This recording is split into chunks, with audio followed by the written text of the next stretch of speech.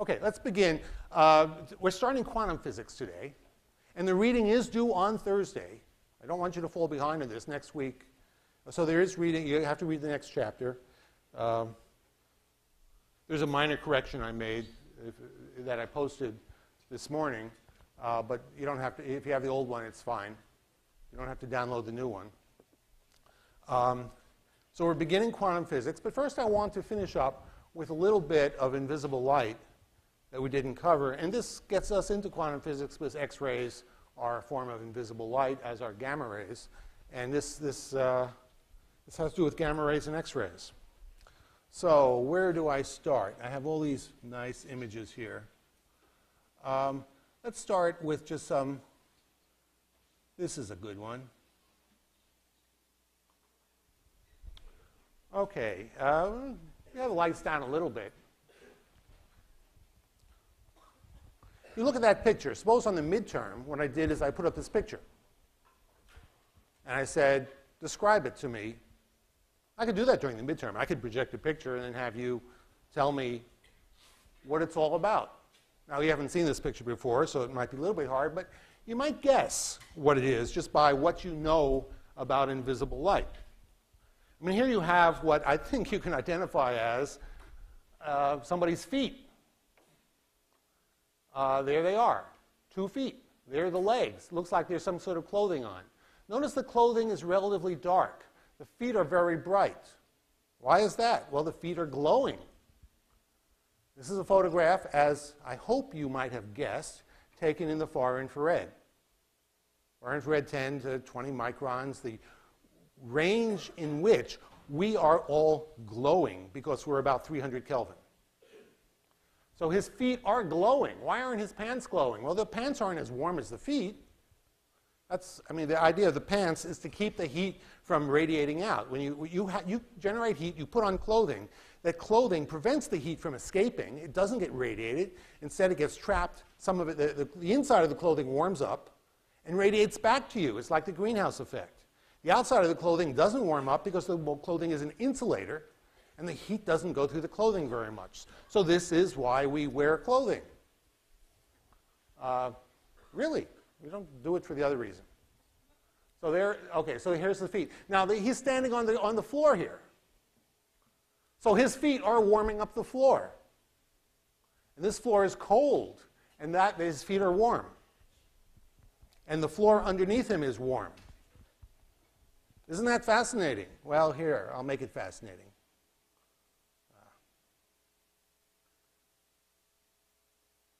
Figure out, okay. Ready?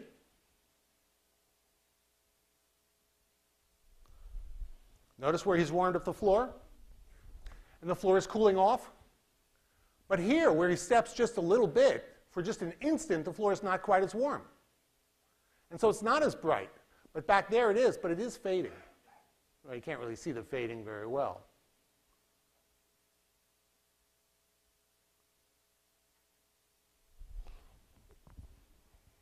So this is the far infrared, infrared imaging. You can imagine all sorts of uses for this. Boy, you've always wanted to measure people's feet. Um, this is an automobile engine.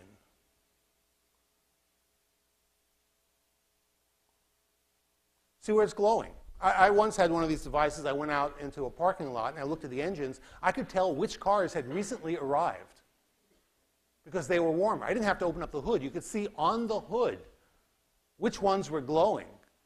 Imagine if, you know, you're, you're a policeman or something and you, you can tell which car came in most recently because it's still hot. This is the engine. This is also a little movie.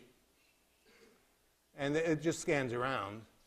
There's a person coming out. Uh, there's the hood of the there's a door opening, and there's somebody in there. And uh, come on out. Get out. Yeah. You. Get out. Oh, here we go. We're just looping it again. There's the car. The door is opening. There's someone sitting in there. We're looking from the front through the. There's the open doors over here. There's the windshield, and he comes out, and his face is glowing, and his clothing is not glowing quite so much because the clothing is not radiating as much because the inside is warm, but the outside isn't. So it doesn't radiate. Serves as a like a little mini greenhouse. So this is another far infrared image. Here's an interesting far infrared image. Here they added false color. So to make it more dramatic, to make it easier for the eye to interpret, the bright things were made, well, let me make this bigger, were made red, and the cool things were made blue. And that's not because the camera sees red and blue. The camera doesn't see any color at all. It just measures one thing, the intensity. They add the false colors in the computer simply to make it easier for the eye to interpret. And as you look at this, in fact, what I'm going to do is move this over here, and then I can stay on this side. What do you see? Red is bright. So, the windows, lots of energy being radiated out the windows. This is why, if you're worried about insulation, one of the things you do is put in special windows because a lot of heat will leave through the windows because the inside of the house is warm. The surface of the house is supposed to be cold. You want the walls of the house to be warm on the inside, cold on the outside. Any insulation in there will, will keep the heat from the inside to go to the outside, and that way they will radiate back into the inside. So, the, the, you know, if you want to save energy, personally, one of the most important things you can do if you happen to have a home that you can change like this is put insulation in the walls. Makes a huge difference. You can you find you don't have to turn the heat on if you put insulation in the walls. The kind of insulation people like to put in the walls are things like, well, it used to be asbestos. There's a movie I saw recently that, that ended with a, with, with a screen coming down and it said on it, asbestos. That was the high tech of the 1930s. These days, asbestos is in bad repute. But if you look at this, look, there's heat leaking out there. At the top of, the, at the top of this, what is that? Is that a window? That's a door heat leaking out the top of the door. If I took a photo of my house and I saw, oh, that's where I'm losing my heat. Well, no, I'm losing a lot there. But what's this? The very top of the house. Well, the hot air tends to go up. It's accumulating up here in the attic, and so the top is where, where it's hot. A little bit of insulation up there might do a real lot of good, just preventing that heat from coming out. And you can see it gets cooler as we come down here. The ground is quite cool. The whole house is sort of warm, but that's because some of the heat is coming out through the walls. So this is the sort of technology that can be absolutely valuable if you're trying to conserve energy. In other words, if you're trying to save money. Okay, let's do another one. I have a bunch of, of, of, interesting photos, each one of which I find really interesting. Oh, this is a street scene. Okay, so just a street scene. These things are on the web. They're, they're, they're done by companies that sell infrared cameras and they put these up so you can take a look at them and see do you want to buy one of these infrared cameras. And in this case, uh, it's just a street scene. Again, you can see the windows where it's inside. Those are what's glowing, not because lights are on, but because it's warmer in there. There's several places where it's really warm inside. And here's a person, looks like he's on a bicycle, I guess. Looks like a unicycle from here. I'm not sure I believe that. So, typical street scene. Let's see what else. We, oh, this one I like. Remember when I told you about Stinger missiles? Stinger missiles are these handheld missiles that were developed by the United States and, in my mind, mistakenly sold to the Taliban back when they were fighting the Russians. I was horrified at the time. I didn't particularly think that Taliban were going to be really nice allies in the future. But anyway, we sold it to them, and, and they, are hand carried. And what they do is they have a little infrared sensor in the front. And the little infrared sensor looks for something hot. Uh, they have, it's basically divided up into four sectors. If the hot is on one side, then as the missile is moving, it, it changes its fins a little bit and moves in that direction. If now the hot spot's on the other side, it moves back there. It keeps on going until all four sectors have the same amount of heat in them. Then it's aimed at the heat. Typically, these are used against airplanes. And uh, people really worried about Baghdad. Uh, in, people worry about the United States, all sorts of things. So here's a little bit of a movie of an airplane. And, I, and you can see it's glowing. That's because the sky, the clouds are warm. This is the ground. There's some warm clouds up there. It's going to come behind a building. I'll show you this movie. But there's the airplane coming in. And the airplane is warmer than the sky. Well, that's not surprising. It doesn't have to be very warm to be warmer than the sky. It's not as warm as a human, but they turned up the amplification so that the airplane glows. So let's watch this movie now. So here's coming in. Goes behind the building. It's coming towards us. Now take a look at the back of the engines. You see all this coming out there? See that glowing white stuff out the back of the engines? That's the exhausting fuel. It's not a flame. You've landed in an airplane, you don't see flames shooting out of the back of the engines. Okay, but in the far infrared, it is glowing because it is a hot gas.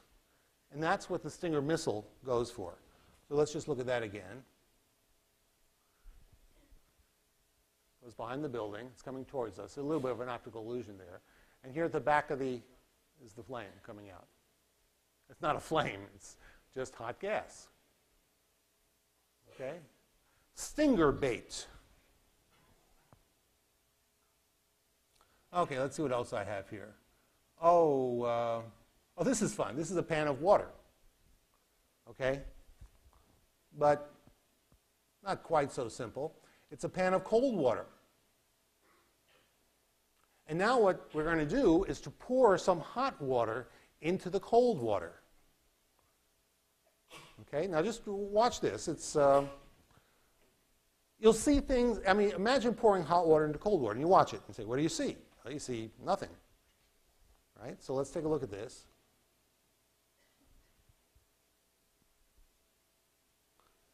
Water. Here comes the hot water pouring in. It looks like milk, doesn't it? And you see the temperature. You see how it's being stirred. I, I, this is a really interesting movie if you're trying to understand, if you know, if you care about how water mixes. Okay, whoops. Okay, what else do we have? A lot of things here, but some of them have to do with medical imaging. I'll get to those in a moment. Oh, this I like. This is the refrigerator. Okay. That is a refrigerator. Refrigerators are supposed to keep things cold. They emit the heat in the back. We're not looking at the back, we're looking at the front. There's the refrigerator. Look at that crack between the freezer and, and, and, and the bottom part. That's dark. What does that mean? It means it's, it's extra cold. Why is that extra cold? Well, because the insulation isn't so good. Remember, refrigerators are cold on the inside. If the things on the outside get cold too, and they do that at the crack where they're in close proximity to the inside, some people refer to that as the cold is leaking out. Every bit as valid as saying heat is being drained into the inside from out there. Two ways of looking at it. So there it is. Um, inside, of course, if we were to open the door, it should be dark because it's cold in there. So why don't I come by and open the door? There I am. I open the door, and it's dark, and I am glowing like crazy. Why is my clothing glowing? Well, the reason is, in order to, we, we, well, I'm not that fat. We turned up the, the, the amplification in order to be able to look inside as best as possible. And so because you've done that, even his clothing now, you've just made it extra, extra bright. Look over here on the wall. See his reflection? The, the far infrared is bouncing off the wall, and you can see the guy's reflection over here. Let's watch it again. As it comes up, you see his reflection in the wall. The wall's acting like a mirror. It bounces the far infrared better than it bounces visible. Of course, maybe you'd see it in the visible too. if, uh, okay. These are the invisible light movies. Oh, this one is, oh, now, that's a person's eye. I'm just curious. Stop for a moment without raising your hand or saying anything. I want you to tell me, don't tell me, just think. Is this person male or female? Okay, now without changing your mind, I'm curious how many people think it's male? Curious how many people think it's female? So it's about three to one. I have no idea. But, it, but it's, really, it's really interesting that simply looking at an eye, this shows how tuned animals are to recognizing other animals and details about them that aren't at all evident. Well, of course, maybe you're all wrong, but, but, but the fact that you, you, I mean, how many people here, here didn't really want to raise their hands because they had no opinion? Okay. But it's interesting that so many of you had, a strong, had an opinion, and, and, and a lot of you were right. I don't know which ones. Okay, so here's the eye. Now, you can look at the eye, and you see the lashes look like lashes. That's because they're not carrying blood. They're not warm. It seems to be really warm right around the edge of the eye. Well, of course, you know, there's, there's, you don't have the layer of skin insulation there. You, you may have teardrops coming. In fact, there's a, there's a little cool thing here, which leads me to believe, for reasons you'll understand in a moment, that there's a little bit of water evaporating. We're going to get him or her to blink. When he or she blinks, the eye will be coated with a thin layer of water. That water will start evaporating and will cool. So you'll see a little bit of cooling from the blink. So let's take a look at this.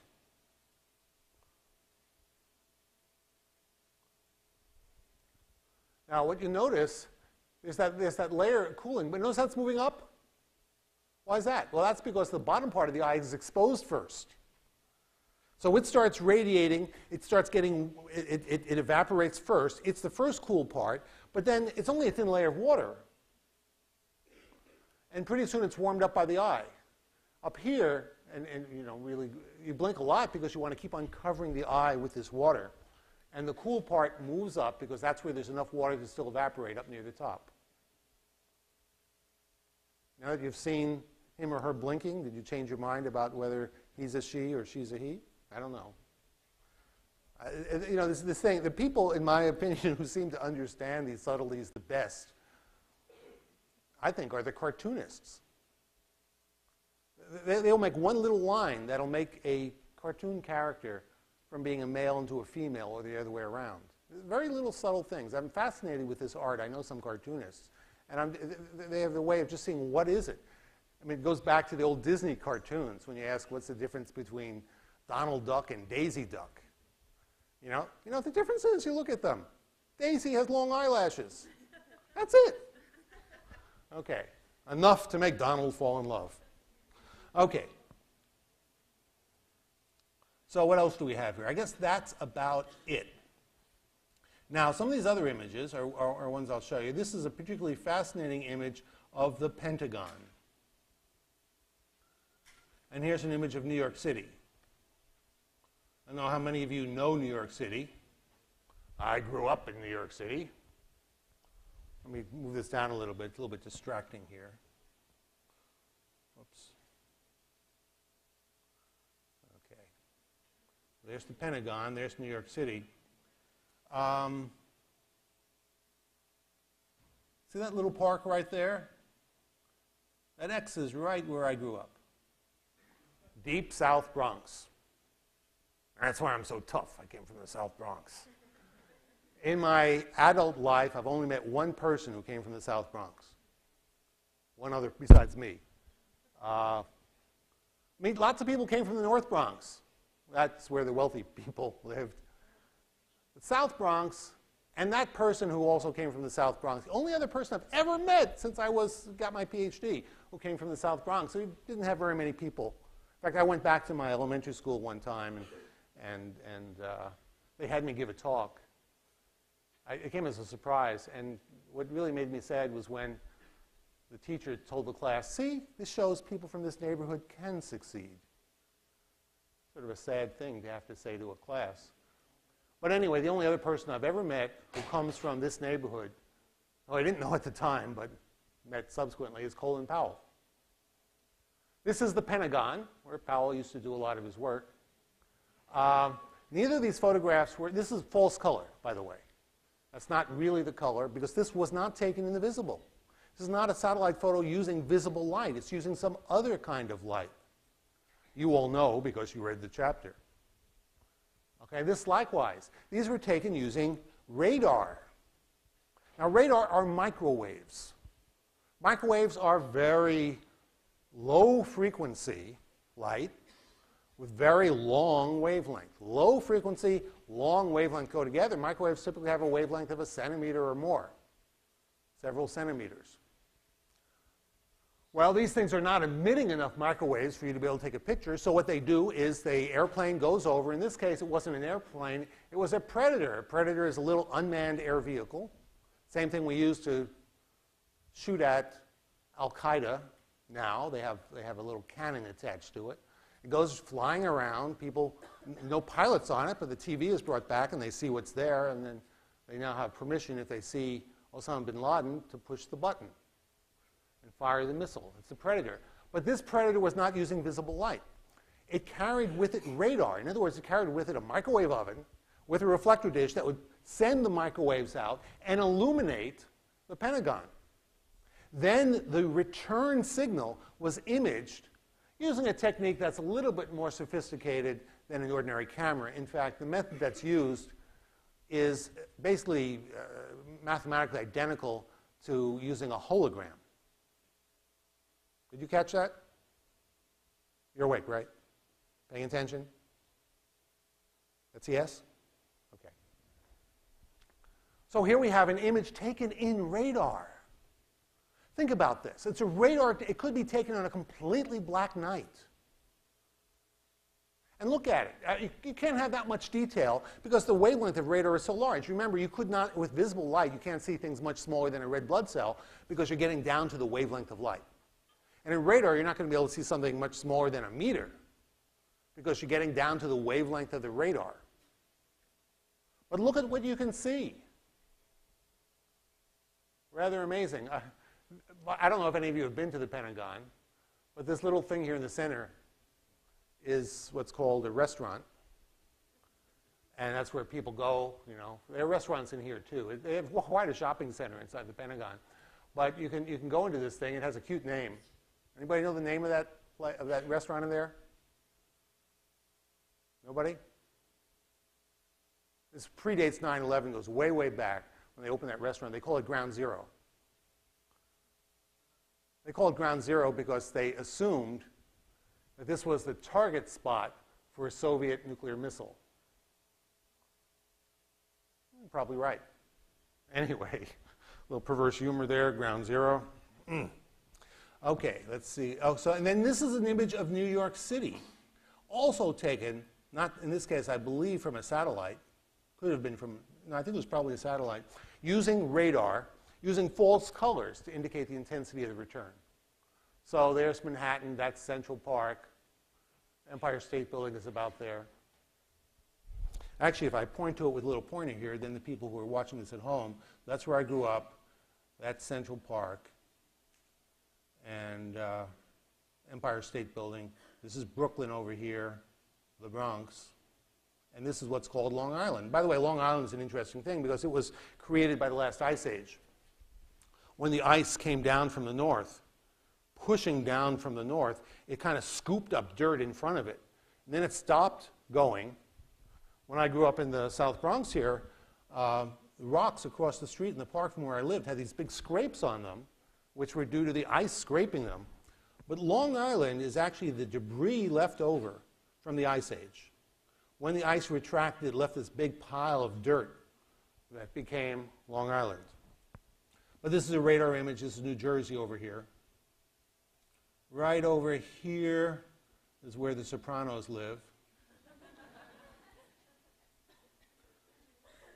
so, radar imaging, really important technology it can be used at night. It depends on illuminating the area with microwaves uh, and then getting the return using a hologram like system to make the image rather than a lens type system because there are no really good lenses. But, but, it, but it, works like a hologram. And uh, no more detail than that because there's no need for us to go into great detail but about a hologram, how a hologram works. It's called synthetic aperture radar, SAR. Synthetic aperture radar, or SAR. It's one of several things that go by the acronym SAR. Uh, and and uh, it is extremely important if you are a president because many of the images that you get will be radar images rather than visual images. It's a whole new dimension to what you can see. You can see it in absolute darkness. In fact, you see right through clouds because the microwaves go right through clouds. So you should know about this. Let's go to another image now. In fact, uh,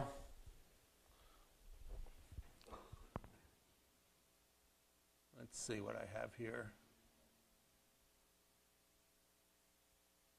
Okay, this is a typical X-ray image.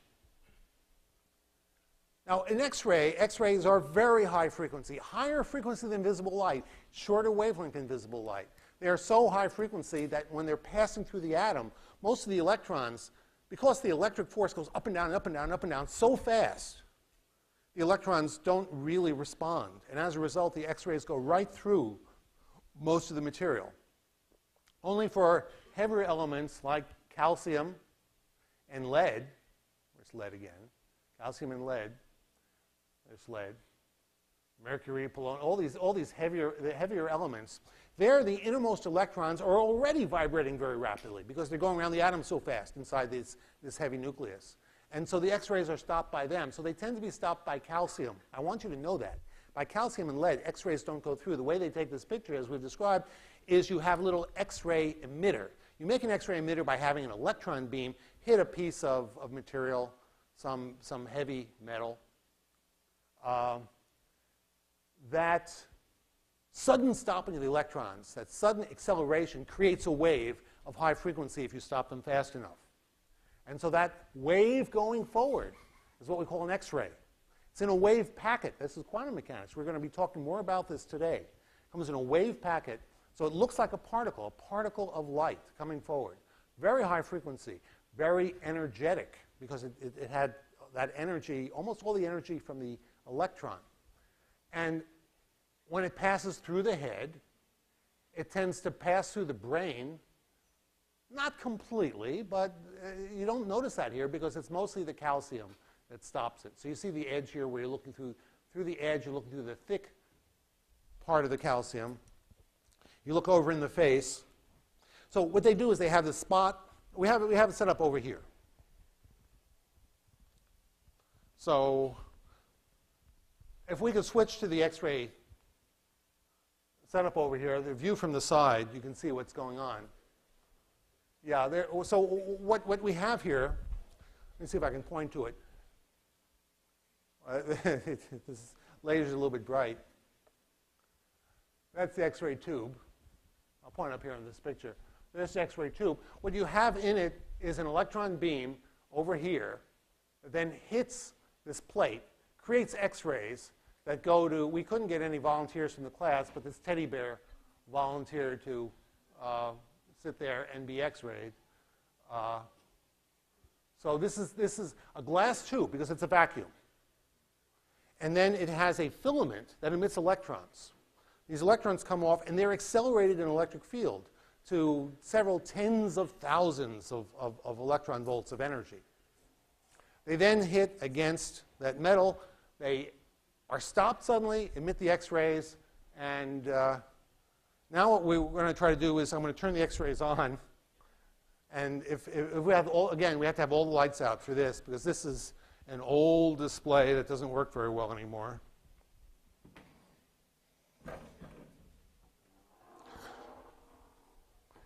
And what I'm, oh, what is this glow here?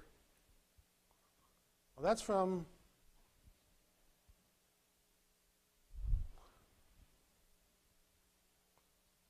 Ah, that's those lights. okay. Looking at the shadow to see which way they were coming from. Okay, so what I'm going to do is turn this x-ray thing on. You look at the front here. The x-rays will come through the bear, and we should see the skeleton of the bear. So the room has to be really dark. What's that? Uh, someone, may, okay.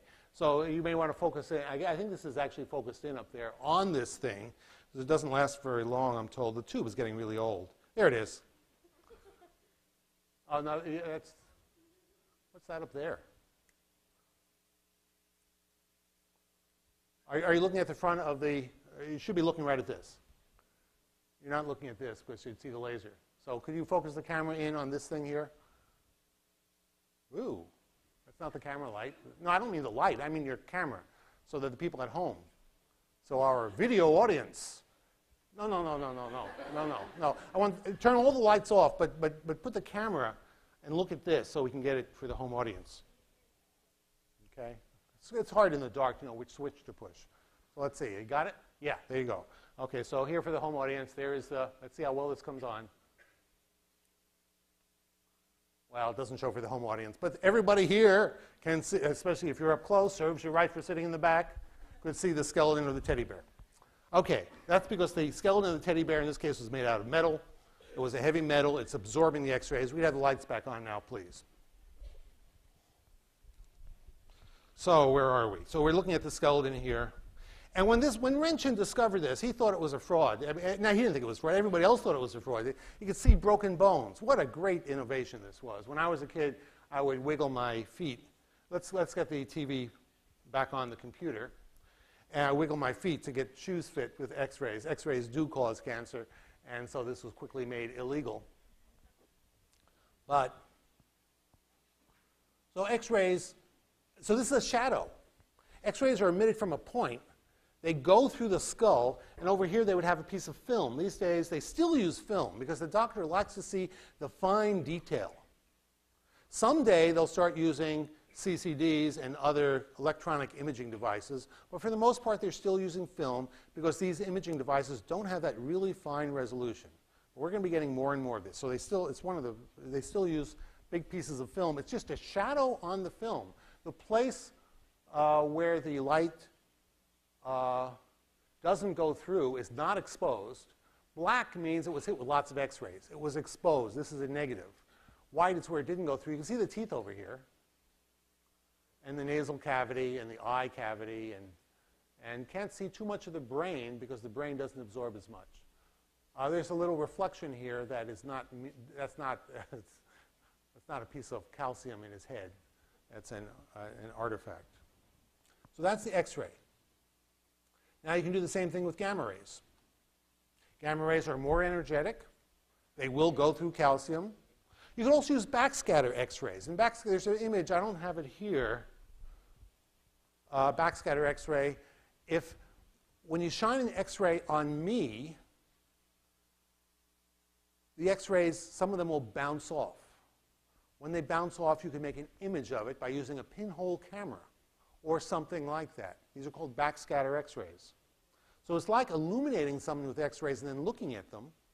And the backscatter X-ray in the text was used to, find, to have this picture of the illegal immigrants behind the uh, surface of a, of a truck. There's some issue about whether it, one it has the right to X-ray a truck if there may be illegal immigrants in it. a serious, I think, ethical, technical question whether you're allowed to X-ray someone without their permission, even if they are illegal. Uh, so that's something you can discuss among yourselves. The X-ray doses are quite low, but still there are people who are worried about, about X-rays. now, let's go on with this. We'll get into quantum mechanics, don't worry.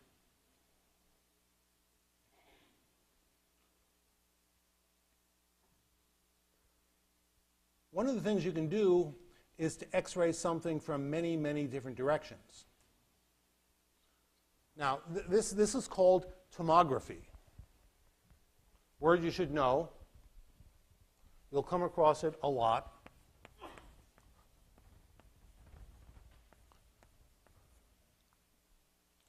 And it is a technology that was made possible by modern computers. The way it works is as follows. You take an x-ray of my head, maybe from the side. Then you take an x-ray from the front.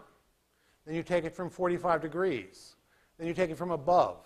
Then you take it from a zillion different directions, maybe 30 different directions. Now, you can now give this to the doctor, and he looks at this and says, ah, blah, blah, blah, Or you can give it to a computer. What the computer does then is it makes a model of the head.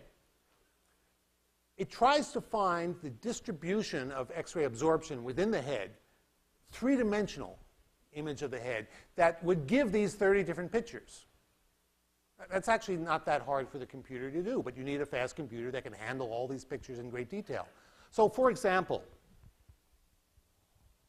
if you have a head and all 30 pictures have a bright spot right in the middle, then you know there's only one place that bright spot can be if you see the same bright spot in every direction you look. It has to be in the center of the head. On the other hand, if you see a bright spot there, and then in the picture from the side, the bright spot's over here, then you know it's near the front. So in the computer, they take all these different images and they try to put together a picture of what's going on in the head. We do that with earthquakes to find out what's going on in the earth. We look at many earthquakes, how they travel through the earth. That's tomography of the earth. From this, we've discovered there's a liquid core, for example, because earthquakes that happen to travel right through the middle don't have any shear component. And so there must be liquid in there. And so this is tomography of the Earth, but we can do the same thing with X-rays. Sometimes it's called computer-aided.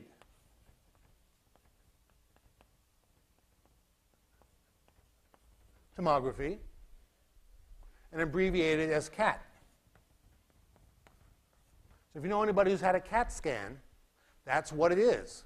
Typically x-rays from many different directions. This was very useful to us back when uh, uh, we were, there was a, the United States had a new embassy building in Moscow.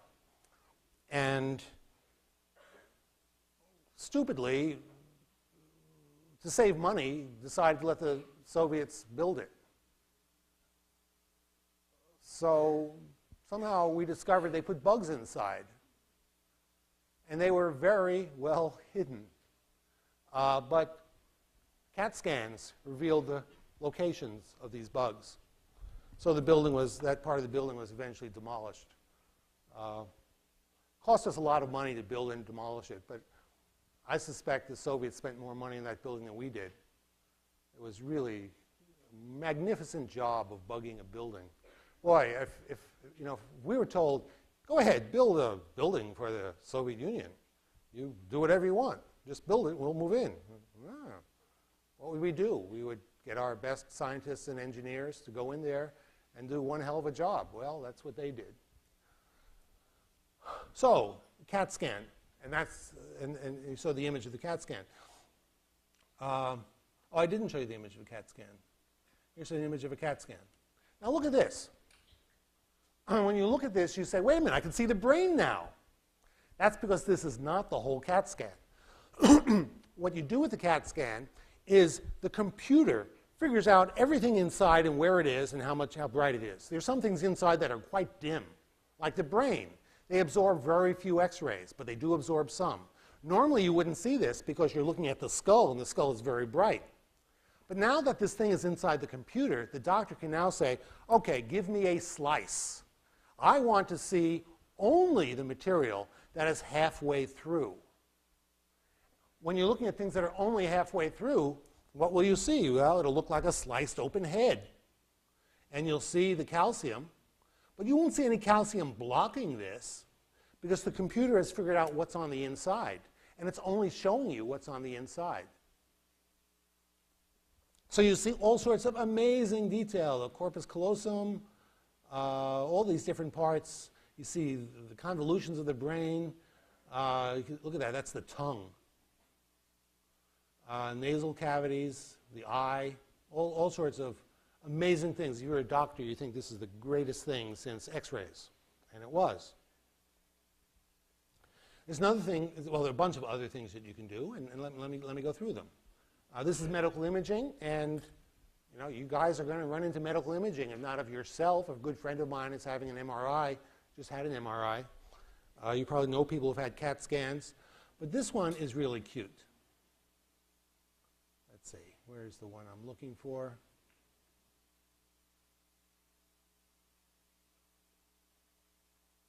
Okay, this is called. Now, by, you know, yeah, it looks like someone's just had their head lopped off. But uh, what's happened here is just to, the computer has put in, this again is a computer image based on, in this case, gamma rays that are emanating from the brain.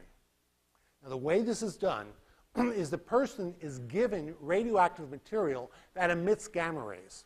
In fact, the radioactive material is material that's very short lived, half life of maybe 10 minutes.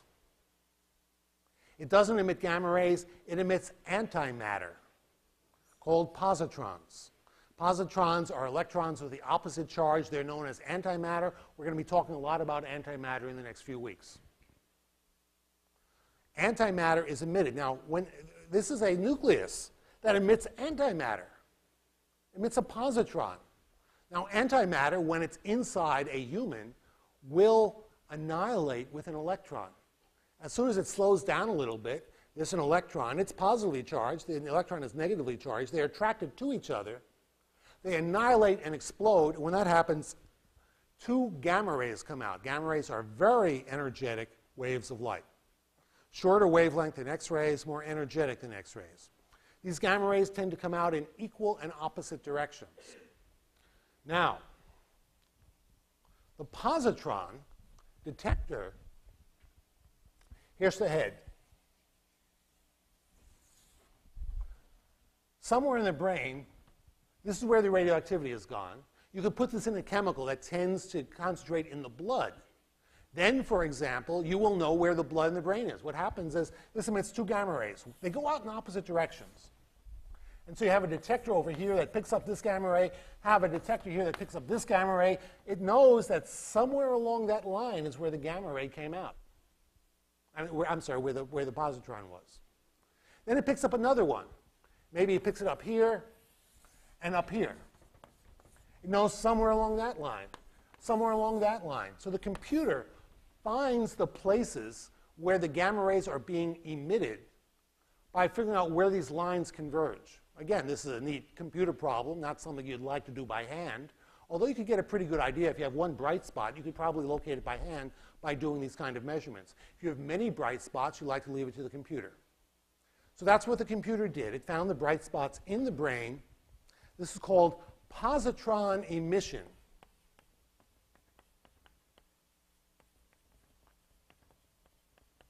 Tomography. And, and, now I have to confess, the medical researchers really outdid themselves. This was a CAT scan. This thing becomes a PET scan. Uses antimatter. These are done routinely in hospitals. People say, sometimes people ask me, is antimatter real? Why is it real? It's a tool being used in hospitals to do PET scans. That's about as real as you can get. And it's made, made possible by the fact there are some radioactive nuclei that, when they explode, emit a positron. So you give the patient that chemical, it goes to part of the brain, and you can then make a map of the brain in false colors as we show up there, showing which parts of the brain are active, which parts are inactive. A doctor looking at that who's experienced would say something like, oh, that's a real smart person. Or, hmm, I got to operate here or something like that. I have no idea. Oh, this is cute.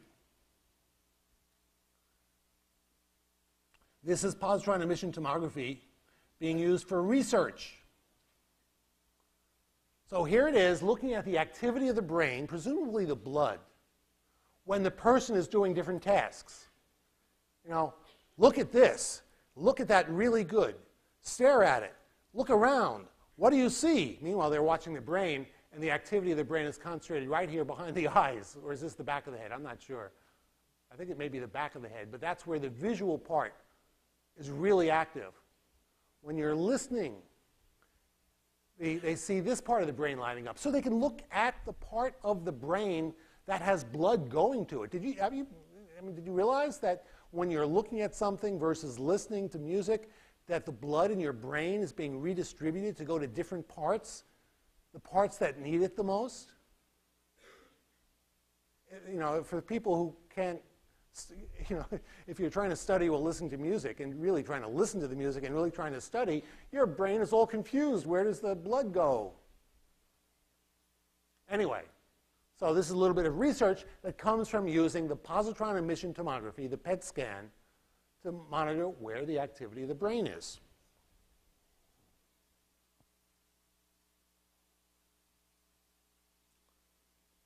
Now, I have a few other things here. This all goes under the rubric of, perhaps the most dramatic one, though, comes from MRI. So, a little story here for MRI.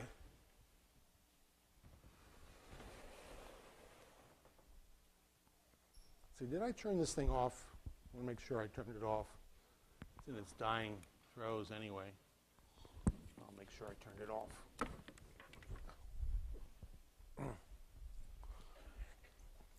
In MRI, you have the head again.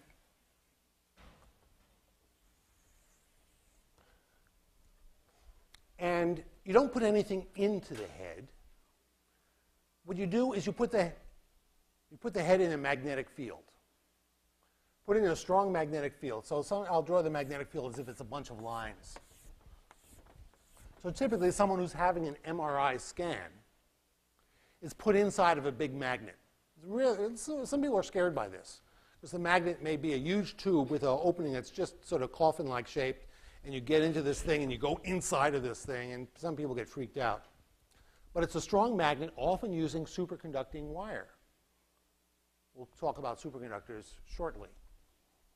In this strong magnetic field, remember each one of your electrons is a little magnet, and it's spinning the magnetic field puts a force on these electrons and, and causes them to, actually in this case, it's, it's actually it's not the electrons, it's the nuclei. They're also little magnets. They're also spinning. And they tend to line up with the magnetic field. Now, in MRI, you use the magnet to get the nuclei to line up. and then what you do is you apply a radio signal to detect those nuclei. And by having the magnetic field be sensitive to only one region at a time, you can make a scan. This is a more complex technology than anything I've told you about. So let me not go into the detail of how that scan is made. What I want you to know is that primarily what you're picking up are protons, which are the nucleus of hydrogen.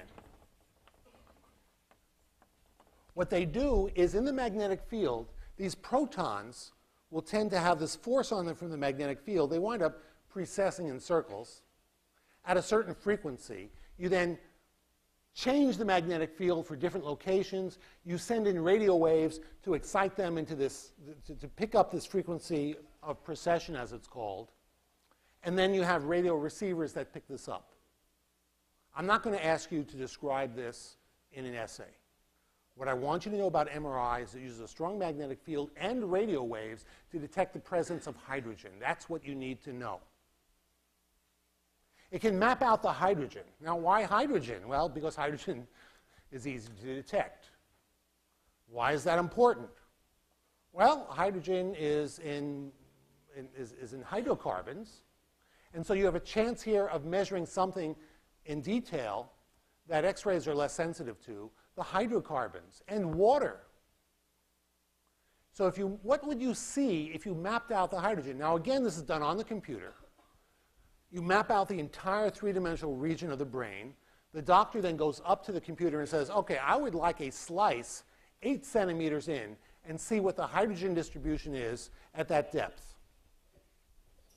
This is called MRI,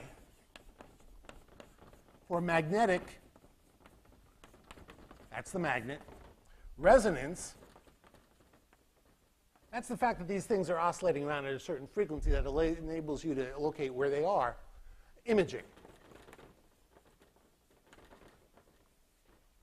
The resonance here, this moving around, is taking place in the nuclei.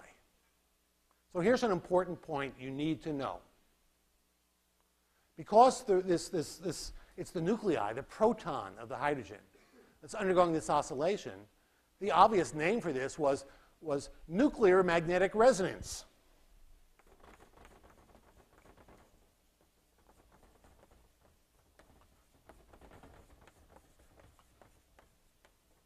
Resonance. And that was fine. Edward Purcell got a Nobel Prize for his discovery of nuclear magnetic resonance. Turned out to be really important in physics. But now, far more important in medicine. Still important in physics, but somehow people are more important than discoveries, I guess. And so they started using nuclear magnetic resonance. Well, there were dying patients who would not go into the hospital for nuclear magnetic resonance. Anything nuke was something that they had been taught by their favorite fearmonger is something they should be afraid of. So they are here dying of cancer, and they don't want to be nuked. Now you notice no radioactivity was, was, was put in. There's some magnetism and, and some radio waves, but there's nothing radioactive. It's just that it happens to be the hydrogen nucleus that's being detected. Well, you can explain that to anybody in this class, and you say, oh, okay. But to most people, they don't want the doctor, they don't trust the doctor enough. They refuse to do it. So finally, the medical community decided to change the name to magnetic resonance imaging, emphasizing the magnetism. These days, people wear magnets on their shoes to make them feel good. Magnets are good things, resonance imaging. So, NMR I want you to know this. This was called NMR. It's now called MRI. And the only difference is in the public fear of nukes. So let's go back to the computer, and I will show you an MRI image. Let's see if I can find that here.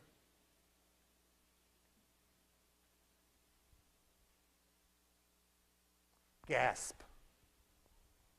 Look at that. This is one of the miracles of modern physics medical technology. If, if I showed you that and you'd never seen an MRI image, you would have sworn that someone had dissected a human. Look at the detail in that. And the doctor, by turning a knob, can look at a different slice and go right through. This is by far the best way to detect anomalies in the brain. Just a wonderful, wonderful technology.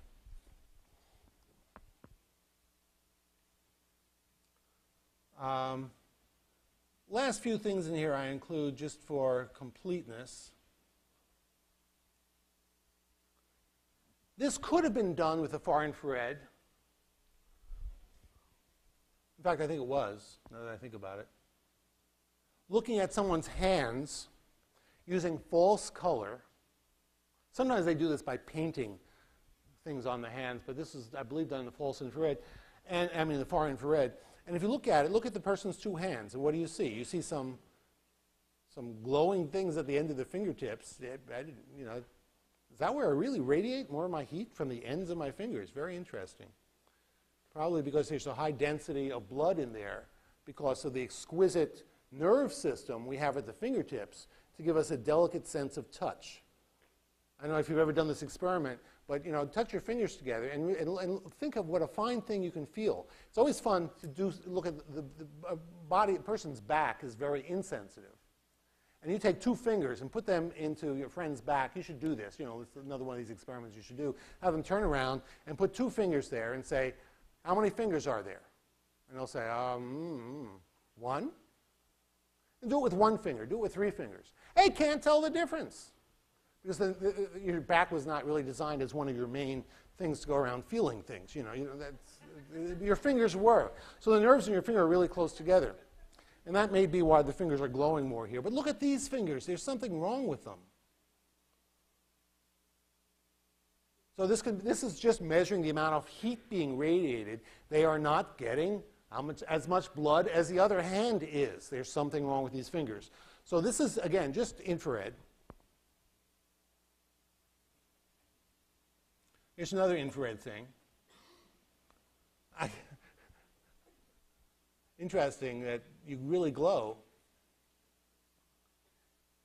And uh, I don't know what these circles mean, but nice picture. Now, light is a wave. X rays are a wave, infrared is a wave, Sound is a wave. Why not image with sound? How would you do that? Well, you could illuminate it with sound. You know, go, and then look at the sound that's coming back. Now you could, you could actually take a lens and focus the sound. It turns out that modern computers these days, it's better to make a hologram. Hologram for sounds are, are, are actually easier to do. So typically that's what they do. They make a hologram of the sound. We touched on holograms. I explained how they work, but not in great detail. You don't really have to know how they work other than they take the wave that's coming in, they respond to the wave. In a sense, they preserve that wave. So they measure the wave and they record it. And then if you want to know what it really looks like, you can generate, you can shine a new sound wave on this hologram, and the wave will come out exactly the same as things were on the inside. You could also convert that into light in the computer to see the image. So here's a what's called ultrasound, and it's done by taking a sound wave, putting it into the body, looking at what comes out, making a hologram. If you do this every tenth of a second, you can make a movie. And what it shows you is where the sound is bouncing. Now, that may or may not be useful, less useful for the brain, which tends to be all full of fluid. But if there are big body cavities on the inside with little things in them wiggling around, then you can see the little thing wiggling around, and all you're doing is bouncing sound off, so it's not very damaging. So let's look at a little thing wiggling around inside a body cavity.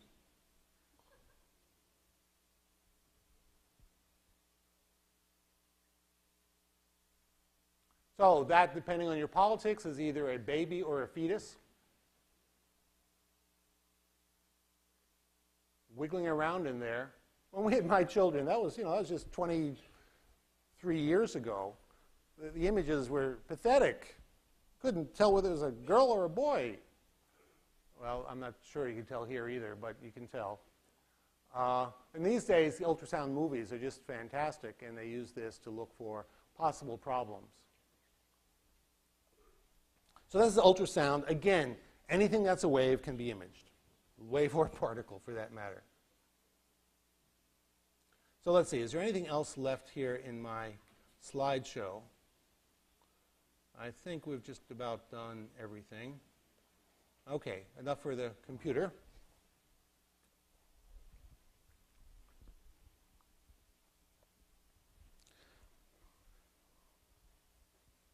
Quantum mechanics turn this thing on.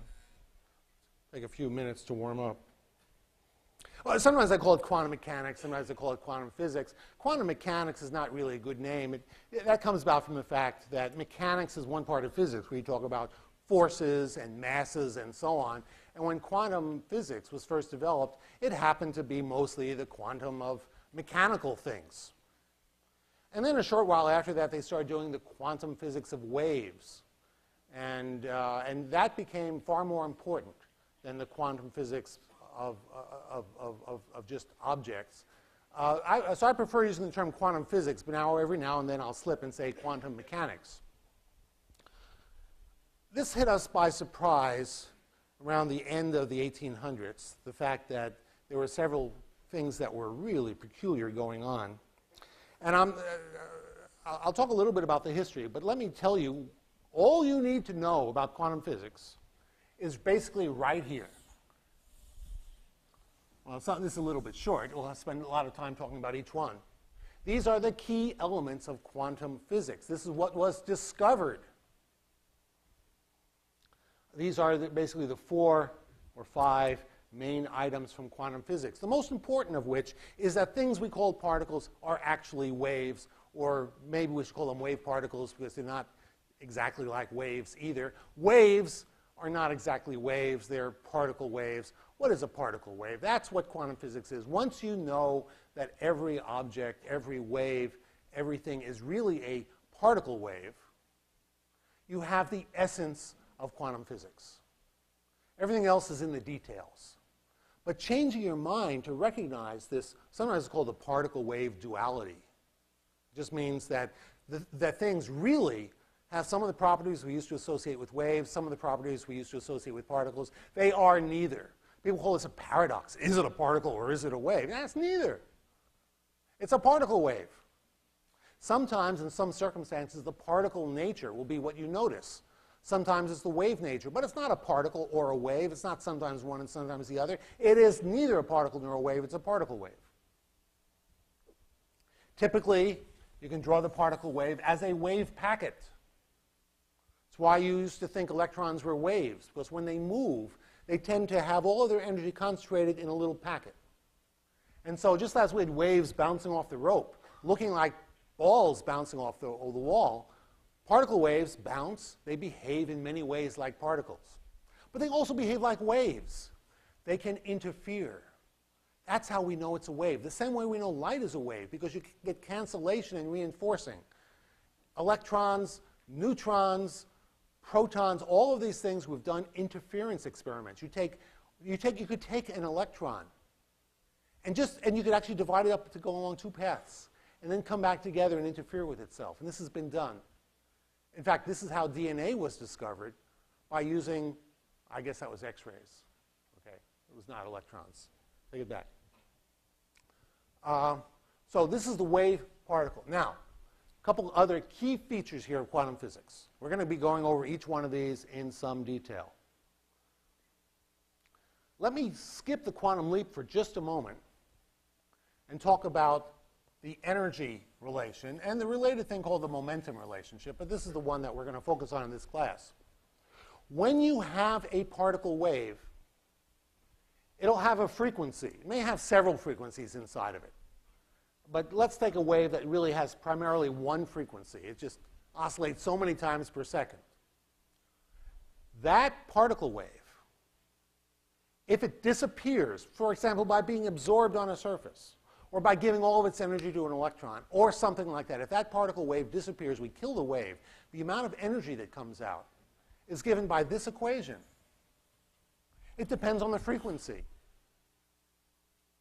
This is a very strange equation. It says the energy doesn't depend on the amplitude of the wave, only on the frequency. How could that be? Doesn't a bigger wave have more energy? The modern interpretation of this, this is what we found is going on, is if you have a bigger wave, you will absorb more packets of energy. But it'll always be a multiple of this amount.